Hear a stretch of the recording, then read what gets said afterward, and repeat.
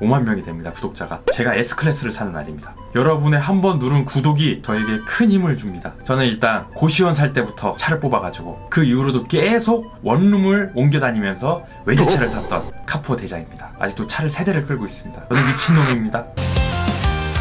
안녕하십니까 제펄입니다. 요즘 제 카푸어 컨텐츠가 인기가 되게 많잖아요. 저도 이제 찍으면서 되게 재밌고 그래서 여러분들한테 얘기를 좀 해드리고 싶었어요. 정말 한 살이라도 젊을 때 내가 원하는 차를 한번 끌고 다녀야 되는가 무리를 해서라도 아니면 지금 타고 싶은 차를 탈 수도 있지만 참고 참고 절약해가지고 나중에 더 나이 먹어서 더 풍족하게 살 것인가. 아 요 사이에서 고민을 많이 하실 거예요. 저 같아도 지금 다시 과거로 돌아가라고 하라면은 그때 한 번 더 좋은 차를 탈까? 그때 타지 말고 절약을 했었어야 될까? 아직도 정답을 못 내렸거든요. 그래서 오늘 제가 이 영상을 찍으면서 한번 제 의견을 한번 내도록 하겠습니다. 유독 제 영상에서 카푸어 분들이 나오면 왜 이렇게 여러분들이 즐거워할까 생각을 해봤어요.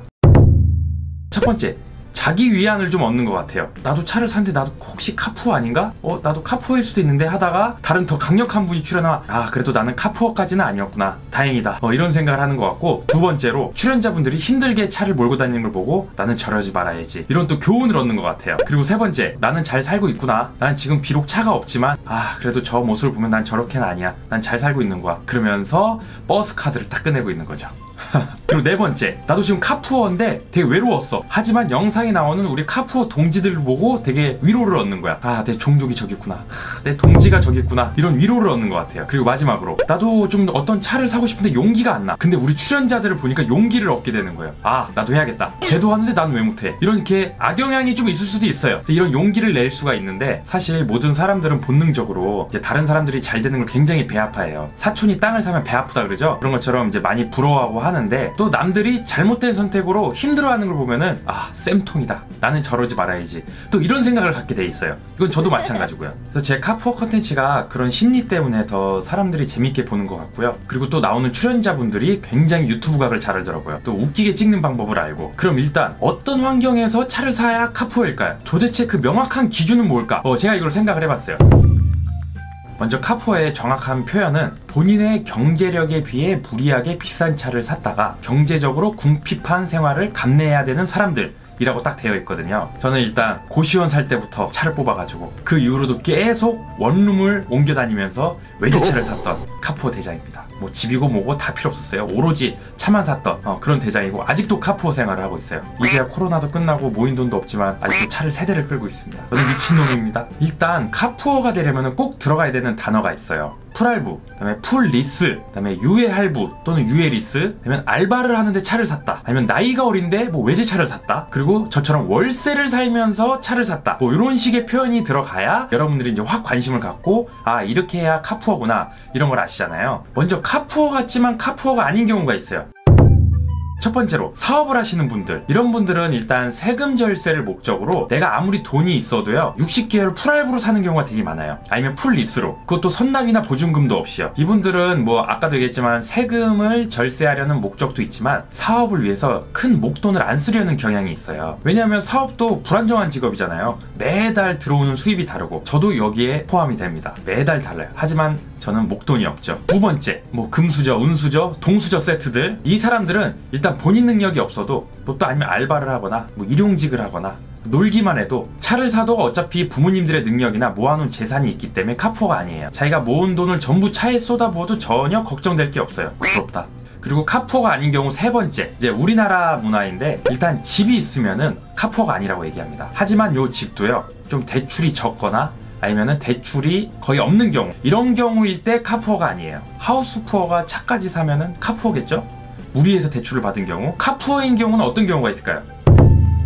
첫 번째로 가진 재산도 없어 부모님 덕 볼 것도 없어. 그런데 내가 모아둔 돈 또는 내가 받는 월급이나 벌이를 거의 다 차에 쏟아붓는 경우 특히 요즘 20대 청년들한테 많이 나타나고 있죠. 거의 제 채널에 출연하는 모든 분들이 여기에 해당이 돼요. 그리고 두 번째로 이제 프리랜서나 뭐 영업직 분들 굉장히 불안정한 소득을 갖고 있는 분들이 비싼 차를 샀을 때 이런 분들이 이제 차를 사게 되는 경우는 최근 몇 달간 돈을 되게 잘 벌었어. 그리고 앞으로도 돈이 계속 이렇게 벌릴 것 같은 느낌이 들어서 자기가 가진 월급의 거의 8, 90% 해당하는 돈을 거의 리스나 할부에 부어가면서 이제 차를 사는 분들이에요. 그리고 또 이제 보여지는 거 좋아하시는 분들은 비싸고 멋진 차를 사겠죠. 하지만 지금과 같이 이런 코로나 사태나 또 내 외부적인 여러 요인들로 인해서 돈을 또 확 못 벌 때가 있어요. 이럴 땐 또 나도 모르게 카푸어가 되는 거예요. 카푸어가 아니었다가. 여기에도 또 제가 해당이 되죠. 아, 뭐 이렇게 다 해당이 되냐? 물론 재산이 많다면 제외입니다. 그 다음에 카푸어인 경우 이제 세 번째로는 내가 집이 있어. 근데 하우스푸어야. 완전히 풀 대출로 그냥 집을 사서 이 대출비 갚기도 어려운데, 그러니까 영끌을 해서 집을 산 거죠. 영혼까지 끌어모아서. 하지만 이제는 악마에게 영혼까지 팔아서 차까지 산 거예요. 이런 경우는 내가 집이 있다고 해도 카푸어죠. 이것도 저예요.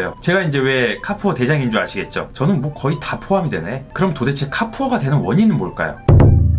과시욕, 자기만족 둘 중 하나거나 둘 다일 때죠. 집과 자동차가 우리가 이제 과시할 수 있는 자산인데 당장 집은 내가 어떻게 막 보여줄 수가 없어요. 들고 다닐 수도 없고 이렇게 명찰 붙이고 다녀야 돼. 나 어디 아파트 3.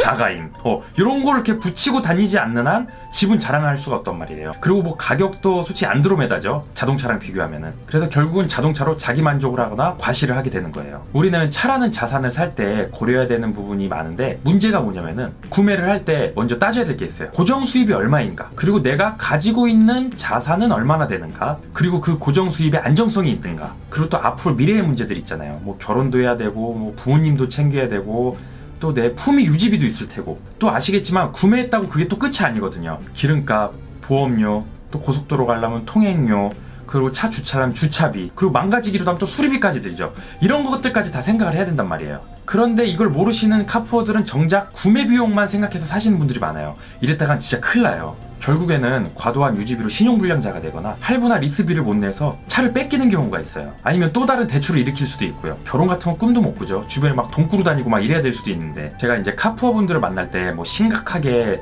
뭐라 하거나 이제 조언을 하지 않는 이유는 이미 이제 차에 미쳐버리면은 어떤 얘기도 귀에 안 들어와요. 저도 다 경험해봤거든요. 그냥 오로지 차밖에 안 보여요. 제가 거기서 막 뭐라 뭐라 해봤자 결국 오지랖일 뿐이거든요. 어, 제가 뭐 그분들 인생에 뭐 도움이 되는 것도 아니고 그리고 관여해봤자 그분들은 더 이제 짜증만 날 뿐이고 정말 카푸어에서 벗어나려면은 결국 본인이 깨닫는 수밖에 없어요. 차를 유지하다 보면 현타가 오거든요. 막 수리도 하다 보고 막 나가는 돈도 보고 통장 막 사르르 녹는 거 보면은 아 이제 그때 현타가 와요. 그 순간이 올 때까지는 절대 아무도 못 말립니다. 정말로 부모님도 못 말려요. 그래서 카푸어에서 빨리 벗어나고 싶으면요 남은 할부 뭐 리스 되게 많을 거예요. 그냥 빨리 차를 반납하세요. 그럼 일단 돈은 안 내니까 뭐 감가상각 때문에 손해는 많이 보겠죠. 인생의 교훈을 얻었다고 생각을 하세요.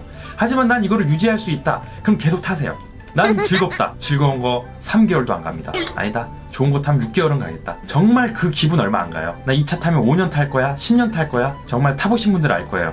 1년 절대 안 갑니다. 저는 또 그런 게 급해서 3개월도 안 가더라고요. 항상. 이거는 꼭 한번 겪어. 아, 겪으면 안 되지. 겪으면 안 되지, 그럼. 그래도 이제 좋은 점은 막상 카푸어 분들 만나면은 생각보다 되게 계획적으로 차를 사신 분들이 많더라고요. 차에서 큰 돈을 쏟아붓기 때문에 다른 부분에서 되게 절약적이고 검소하게 지내신 분들이 많아요. 인생이 망가지지 않도록 조절을 하더라고요. 저도 카푸어 대장이고 무리해서 차를 많이 탔지만 저도 항상 이런 거 다 계획을 했었어요. 그래서 요즘 카푸어는 다 대책이 없진 않습니다. 대책 있는 카푸어들 많아요. 지금 현재 저도 카푸어고 카푸어 컨텐츠를 주력으로 찍으면서 왜 이런 개소리를 지껄이느냐? 이렇게 얘기할 수도 있어요. 저도 정말 젊을 때는 이 차 저 차 다 바꿔가면서 겨우 원룸 살면서 그것도 10평도 안 되는. 그런 데 살면서 외제차 끌고 다니면서 나름 허세도 부리고 스테이크도 썰면서 그런 나날들을 보냈는데 다시 과거로 돌아가려고 하면 과연 내가 그럴까? 아 아닐까? 이런 생각을 하게 돼요. 하지만 지금은 명확하게 알았어요. 정말 후회를 해요. 그때 그 돈을 아낄 걸 그 돈을 아껴서 지금 사는 집 더 좋은 지역의 집을 살 걸. 아니면 더 역세권의 집을 살 걸. 좀 더 신축을 살 걸. 이런 후회를 많이 해요 그렇다면 우리 가족이 더 좋은 환경에 행복하게 살 수 있었을 텐데 우리 아이가 더 좋은 학군에 갈 수 있었을 텐데 그런 후회를 많이 합니다 그때 한 푼이라도 아꼈었더라면 젊고 열정적일 때는 돈이 없어도 내 주위에 막 사람들이 많아요. 나이라는 이제 방패막이 있기 때문에. 하지만 나이가 들어서 돈이 없잖아요. 정말 비참해집니다. 이거는 겪어보면 아는데 겪으면 안 돼요, 절대. 뭐 돈이 인생의 전부냐? 이렇게 말할 수도 있는데 맞아요. 돈이 인생의 전부는 아닌데요. 돈이 있으면요. 우리 가족이 행복하고요. 내 주변 사람들이 행복해져요. 내 삶도 풍족해지고요.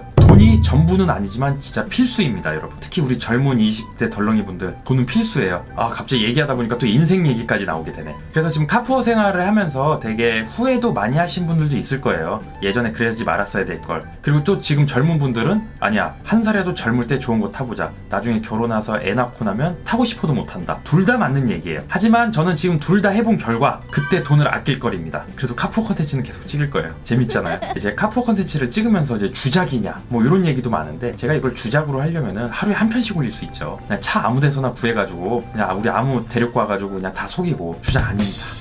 진짜 제가 이거 한 편 찍으려고 저 멀리 강촌까지도 가고 정말 추운 날에 막 멀리서도 와주시고 제가 그분들을 다 조사할 수는 없겠지만 정말 카푸어 분들이 와서 이렇게 찍게 되는 거거든요. 그분들도 거짓으로 이걸 찍겠어요? 여기까지 와가지고 그리고 나중에 다 들통날 게 뻔한데 제 카푸어 컨텐츠는 정말 진실로 찍고 있습니다. 그렇기 때문에 정말 경악할 만한 카푸어까지는 잘 등장을 하지 않는 것 같아요. 제가 오늘 그래서 이제 카푸어에 대한 기준과 카푸어를 하면 어떤가, 왜 카푸어가 되는가 뭐 이런 것들을 얘기해 봤는데 여러분들한테 도움이 됐으면 좋겠고요. 앞으로도 찍는 카푸어 영상 을 보면서 교훈을 얻던 아니면은 살 수 있는 용기를 얻던 재밌게 봐주세요. 그리고 이 영상을 찍는 순간 이제 한 600명만 더 차면은 5만 명이 됩니다 구독자가. 야 구독자 진짜 안 는다. 여러분 구독 좀 한 번만 눌러주세요. 여러분의 한 번 누른 구독이 저에게 큰 힘을 줍니다. 이 카푸어 컨텐츠가 끝난 날은 언제냐? 제가 S 클래스를 사는 날입니다. 대장이 S 클래스를 사야 완결편 아니겠어요? 그날까지 재밌게 지켜봐 주세요. 이상 재벌이었습니다.